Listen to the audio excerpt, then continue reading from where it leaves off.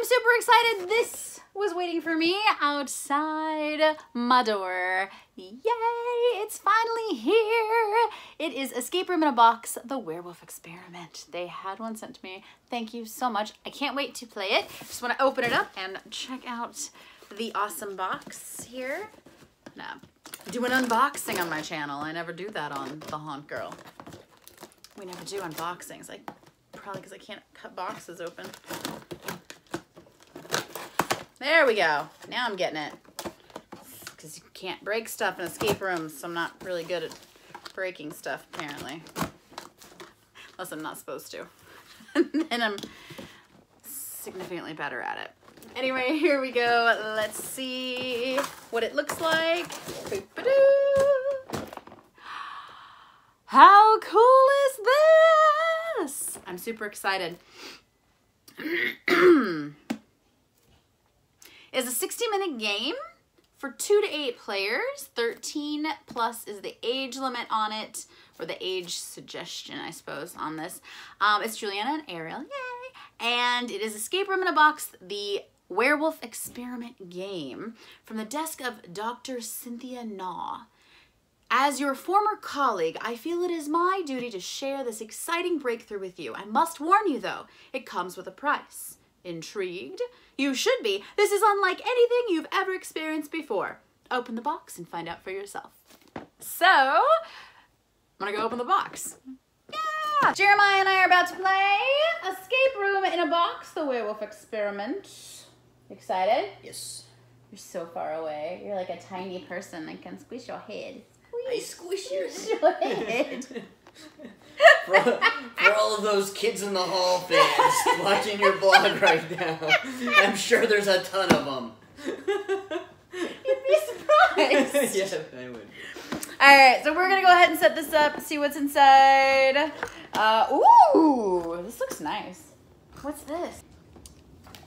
All right, it, this looks very nice. There's all sorts of beautiful, nice writing and pieces. Everything looks really good.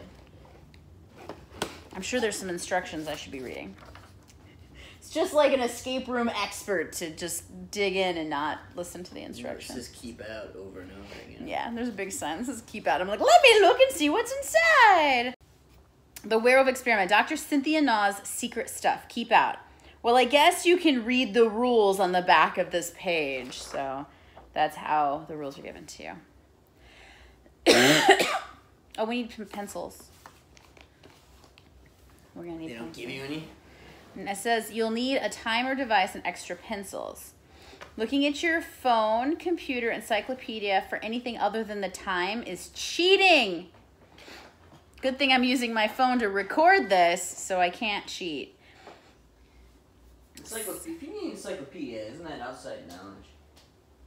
Right. Well, who just, I mean, I could be wrong, but who has encyclopedias just laying around their apartment these days or their You're house? to use your phone for encyclopedia, right? Not- No, it says looking at your phone, comma, computer, comma, encyclopedia, comma, etc. For anything other than the time is cheating. So we only have pens. I think it'll be fine. I don't know. We're gonna break rule number one. We're gonna use pens instead of pencils. So set your yeah, set your phone timer for one hour. You'll start the don't start it yet. You'll start the timer after reading the next note. Rule number three. Don't eat anything in the game.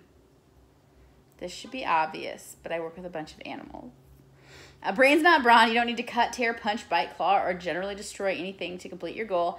If you pick the locks, use brute force, or do anything other than solve the puzzle to open the locks, the antidote won't work. You can't cheat. That's automatic werewolf territory, and there are not enough razors in the world to keep that body hair at bay. I'm gonna play the game. I'm gonna stop recording because I don't want to give away um, anything in the game, any puzzles or anything. We did it in an hour and 15 minutes, but we did it, and we didn't turn into werewolves. This morning I looked no extra fur, uh, just the normal amount of fur, which I'm a pretty furry person, so I'm already kind of a werewolf. Anyway, uh, we were going to review it last night together, but we were both exhausted. So I am reviewing it this morning so I can get this up. I really thought this was a very well done game. It's very difficult to make an escape room in a, in a box feel like an immersive escape room that you would physically go to a location. I don't know if it's possible aside from like the actual magical version of Jumanji where you get sucked into the game and you're in an actual jungle. Um, I can't imagine that you can ever completely achieve that feeling, but they came the closest to, of doing it to any home game that I've seen. And I think that they did an incredible job of adding all of the elements that you'd find in an escape room from locks to physical things that you touch to the puzzles, the puzzle flow, the way the things they, they did things um, felt very much like what you'd find in an actual escape room.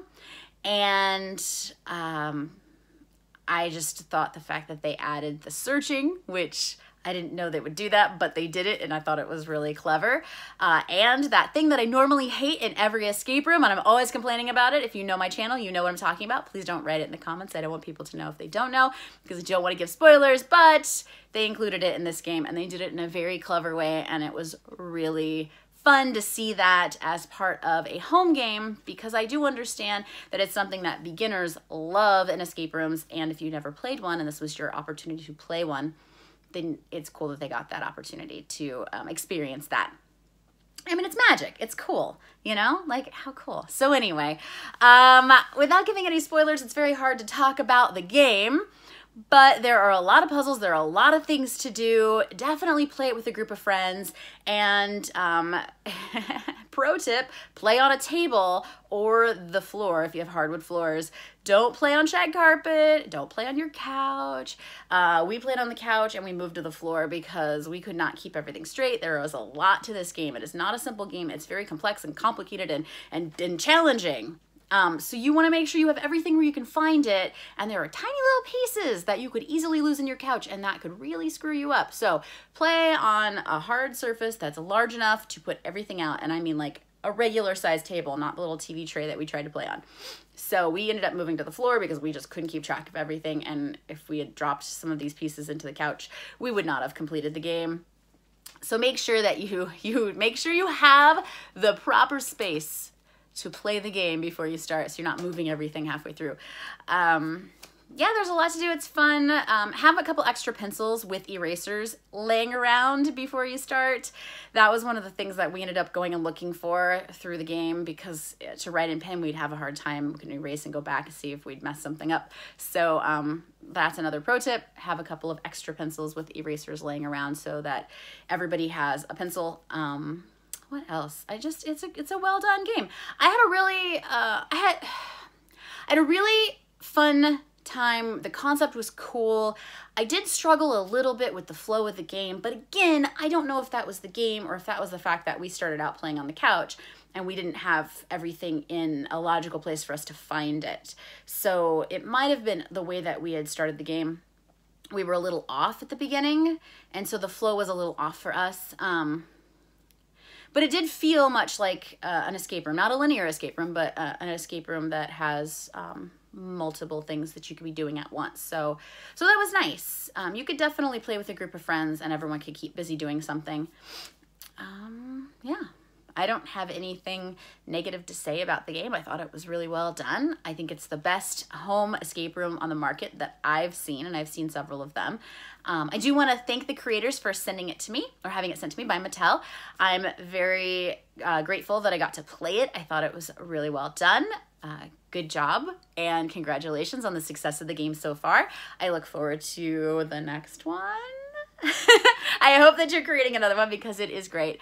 Um, and if you have friends, if you're watching this and you have friends that enjoy escape rooms or puzzles or haunted houses even, please let them know about my YouTube channel and my blog, thehauntgirl.com, where I talk about escape rooms all around the United States and haunted houses all over the United States and uh, home games like this and, some other random stuff, but mostly I stick to those. Uh, please also give this video a thumbs up if you liked it and subscribe and um, go check out the blog, thehauntgirl.com. Thank you. Thanks for watching.